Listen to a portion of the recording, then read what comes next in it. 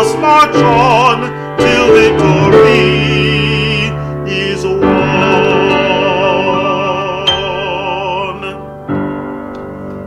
Welcome to Take Five with GPS. Delighted to be with you here on this Thursday here, the 11th day of our series where we are highlighting black excellence. Please take a moment to sign in, say hello to each other, whether you are near to me here in the Twin Cities or farther away around the country, around the, the world. We're delighted that you are with us today and that you are celebrating black history through this time together where we sing, where we breathe, where we inspire our bodies, nurture our souls, and we highlight these outstanding contributions and the outstanding contributors. Please share these videos with your networks near and far so that others can learn more as well. Today, we lean into hearing.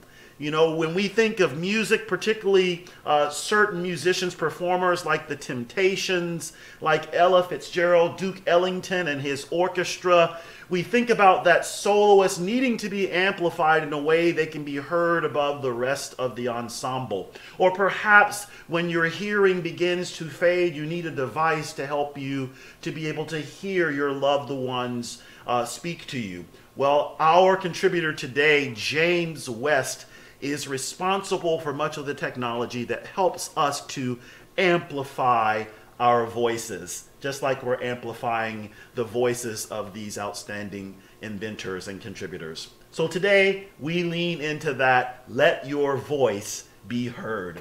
I want to invite you to take stock of how you're sitting this morning.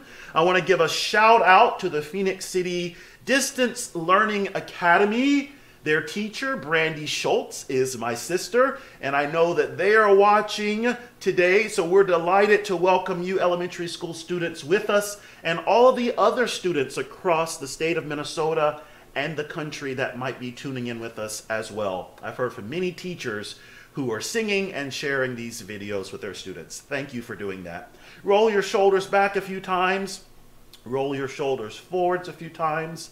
Just kind of hold it up there to your ears. Hold, hold, hold. Release with a sigh. Let it all out. Let's do that one more time. Bring your ears, shoulders to your ears rather, and just hold. Feel that tension. Feel that that pause. Now release it all with a sigh. Reach one arm up, one arm down. Stretch in opposition. Inhale, exhale. And let's do it again the other way. Stretching one arm up, one arm down, palms to the ceiling and the floor. Get that good stretch in. Inhale, exhale. Great. One more time. Hug yourself to love yourself. We can't do enough of this, friends. There can't be enough hugging and enough stretching. Inhale through the nose. Let it out with a nice sigh. Ah. And let's get our voices ready to sing together today. We're going to start here in E flat major with an SH just coming down. Shoo, shoo. An SH at the beginning and the end. Here we go. Shoo,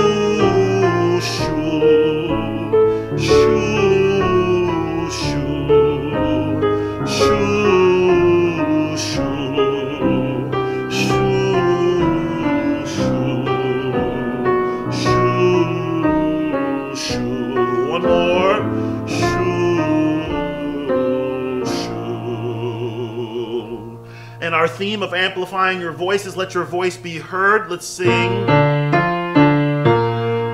can hear you. I can hear you. I can hear you. Let that H be strong. I can hear you. Lots of H there. I can hear you. I can hear you. I can hear you. Can hear you. I can hear you. One more. I can hear you. Now, what if we sing Can you hear me? Turn it around. Can you hear me? With a question. Can you hear me? Put it on your face. Can you hear me? Can you that air there. Can you hear me? One more. Can you hear me? You can take everything and make it into a vocalese. Let's do one more thing before we jump into our recognition today. It's chilly here, but it's a lovely day. Oh, what a lovely day. Oh, what a lovely day. Oh, what a lovely day. Oh, what a lovely day. Make that gesture. Oh, what a lovely day. Oh, what a lovely day. Let's do one more. Oh, what a lovely day. Well, I'm really thrilled to introduce you all to James Edward West. His birthday was actually yesterday. Uh, so happy birthday to James West, inventor, acoustician, a physicist, and a teacher. Born in Virginia, as a young child, he loved to tinker. We've talked about tinkering before. Think about Lonnie Johnson. And at eight years old, he went to repair a broken radio. When he fixed it, he stood up on the bed to plug it in, and it sent a jolt, as the story goes, of electricity through him. His brother saw what was happening and knocked him off the bed and disabled the, the current there, saved his life probably. But rather than deterring him from leaning into science, it gave him more curiosity about science. And it's part of the reason that he does what he does today. James had dyslexia.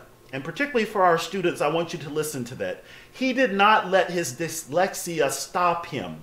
Rather than hiding from it and, and being ashamed where he stopped striving, he memorized all of his books. He memorized all of his studies so that he could hide it from his teachers and from his peers, and he earned top grades in his classes, and he was accepted to attend Temple University in 1953.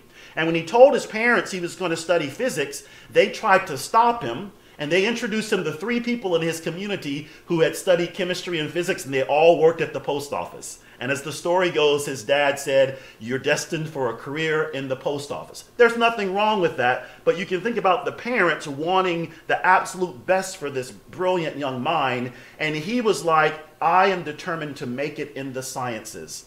So James worked with Bell Laboratories as an intern, and then he eventually had a career there. And it was during that time, when he became an acoustical scientist, that he worked on the microphone. There were microphones in existence before then with huge batteries, but James's work, in particular with a German physicist Gerhard Sessler, they worked together to create the compact microphone, the forerunner to what we use today and what we still use. You can see it right here on the screen. He worked on something called the foil electret magnaphone, and that technology revolutionized microphones and hearing aids and all other assortment of things that we use to this day to hear and to amplify our voices. He went on to join the faculty of Johns Hopkins University and is still to this day inventing and creating.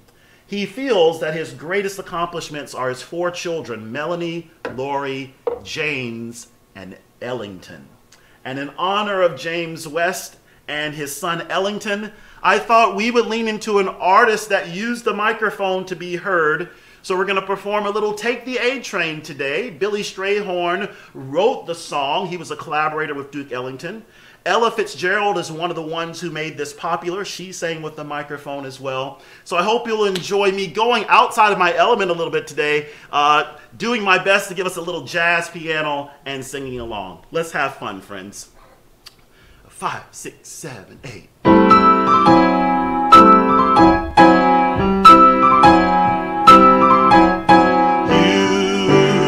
must take the A train.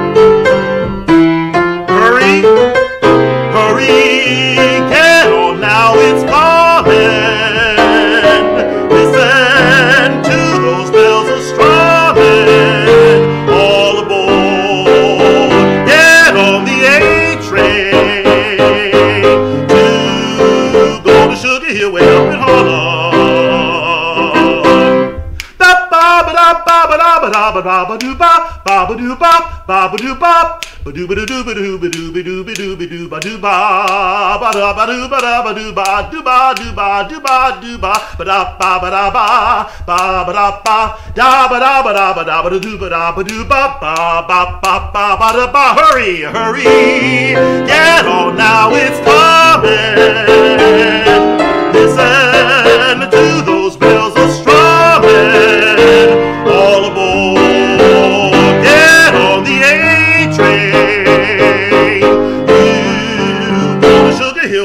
Harlem